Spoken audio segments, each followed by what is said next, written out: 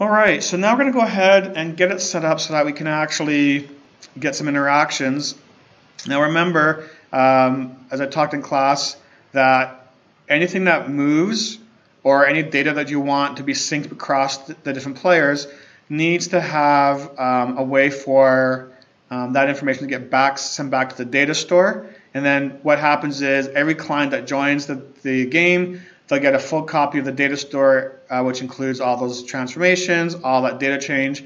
And as those things are updated throughout the game, um, updates are sent back to each client, allowing them to get uh, a real-time update of what's happening in the scene. So if we take a look here, we'll go take a look at this orange ball. We're going to want to be able to pick up that ball. We can take a look at the inspector. It's already set up, ready to go uh, for Steam VR. So if I went and played this in VR, uh, I would be able to actually interact with this object, but it's not going to cascade or mirror into the other players who are joining the scene until we get it connected through the normcore system. So the first thing we're going to go ahead and do is add in uh, a new component to this ball. And we're going to look for real-time transform. And when we add that in, it also adds this real-time view component. So if we take a look here under the advanced settings, uh, there's a couple of things I want to point out. Uh, by default, owned by creating client is checked off. So what that means is that uh, whatever person basically is the first in the game uh, will be considered the creating client. Uh, and with this checked off, it means that they own it, meaning that no other player can actually interact with that and take ownership. So for this case, we're going to want to actually have this turned off.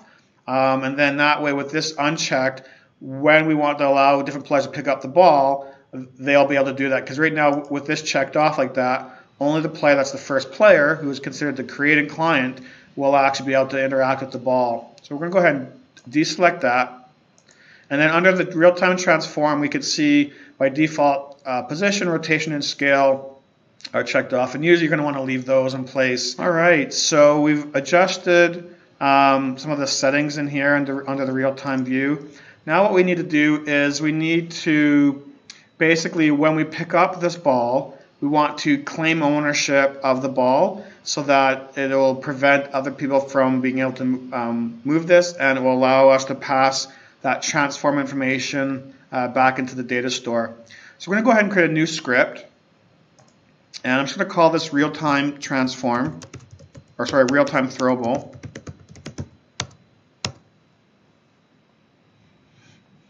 And what we're going to do is with the throwable script, as we can see, we've got the um, on pickup. So we're going to create a script and write a method that basically when the ball is picked up, it's going to request ownership of the ball um, so that that information can then be tracked. So let's go ahead and open up that script here.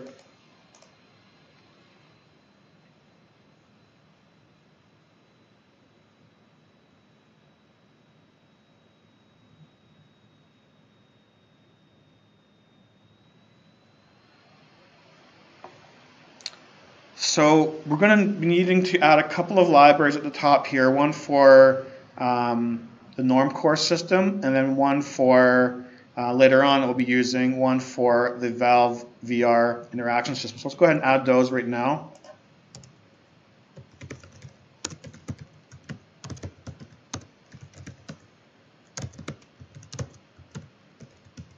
All right. Um, so we're going to create a couple of variables. We want to basically create a reference to the real-time transform and the real-time view. So we're going to go ahead and go, um, these are private because these only need to be accessible from inside this script. And we'll just go private real-time transform and I'll just call it RT transform. And we'll do the same thing with the view, um, real-time view, RT view. And we're going to create another variable that we're, we're, going to be using a little bit later on here, but let's get that set up while we're in, in this spot. Uh, this one will be public because we're going to need to access this from another script uh, later on. We'll call this public. It'll be of type integer. Um, the ownership ID or the ownership is an integer. So when no one owns a particular object in Normcore, it has a value of negative 1. Um, if it's owned by a player, it has a value of their avatar ID. So anywhere from 0, 1, 2, 3, etc. So we'll go ahead and call this one ownership. and we'll set it just to a value of negative 1 for now. So what we need to do inside our start method is create the actual reference to these components. So we're going to go ahead and go rt transform equals game object dot get component and we want real time oops real time transform and I'll do the same thing with the view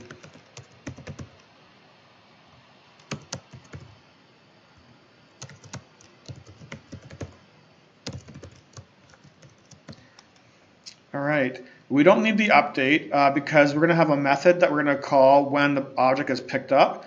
Um, and so we want to get rid of anything that we don't really need. So start, update, fixed update, or awake, those are always automatically called at some point. Um, if we don't need those methods, we want to get rid of those. Let's go ahead and create a new method. Because we want this one to be accessible from the inspector, we need to create it um, as a public method. And I'm just going to call this grabbed. So basically what we're going to do is when the method's called, we're going to request the ownership um, of this transform that's on the ball here, or whatever object we have the script attached to. So go, go ahead and go real-time transform dot uh, request ownership. And this is a method, so we need to end it with the round brackets.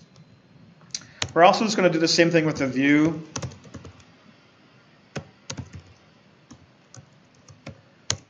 And we'll be using this later on, but let's just get this set up. We're going to set the value of ownership to the um, owner ID of the real-time transform. And what's going on here? Oh, it's not a method, sorry, it's a variable, so we just get rid of that. Okay, so that's ready. So let's go ahead and go back into Unity. And we're going to go ahead on the throwable script. We're going to create a new event under, under on pickup.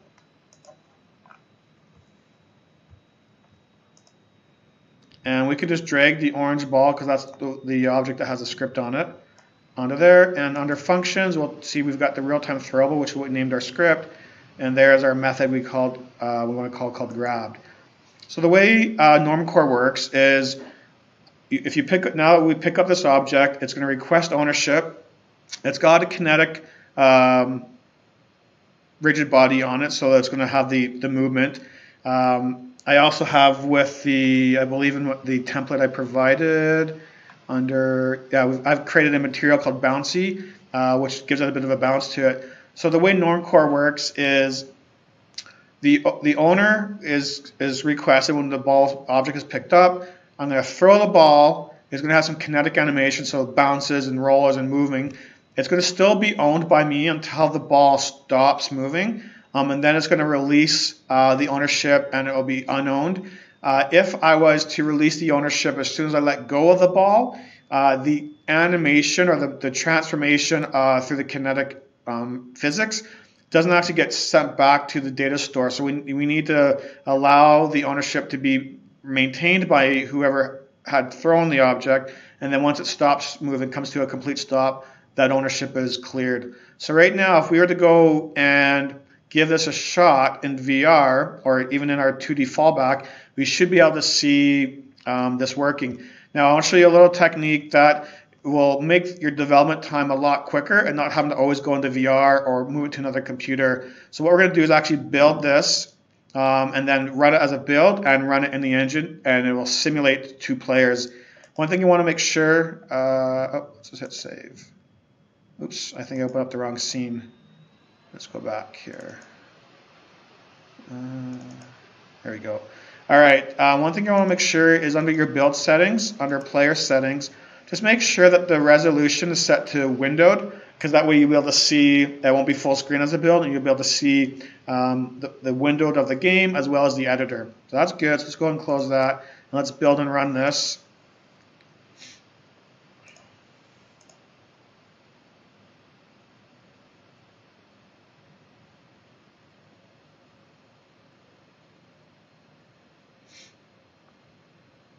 So once the game's uh, started in the, in the standalone, I'll, I'll play it in the editor and we'll be able to see both players, and what we'll be able to do is see if the ball's transformation position is being updated across both clients here.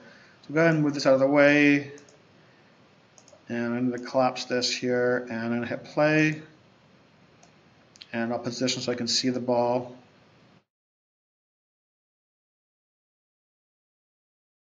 In a position so I can see the ball and I'm just going to move. Uh, so with a 2D fallback, you can rotate around with your right mouse button and scrolling and then just moving around with your WASD. So I'm going to get close to the ball and I should, if I pick it up, I can see now in that standalone player, these are two separate clients and the ball is, the transformation is being updated across both clients. So that's all that we'll cover for this video. In the next video, I'll take a little bit more of a deeper dive into ownership because right now, uh, if we were to leave it like this, there's going to be some conflict uh, between Normcore and SteamVR, uh, which I'll talk about in the next video.